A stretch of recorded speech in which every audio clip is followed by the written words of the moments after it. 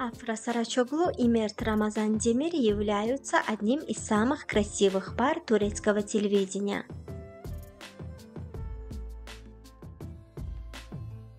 Они снимаются вместе в сериале «Зимородок», который прославил их за пределами Турции. Во время съемок сериала «Зимородок» между Афрой Сарачоглу и Мерт Рамазан Демиром завязался роман. Некоторое время между влюбленными было разногласие, но вскоре Афра и Мерт помирились. Теперь появились новости о том, что влюбленные собираются пожениться.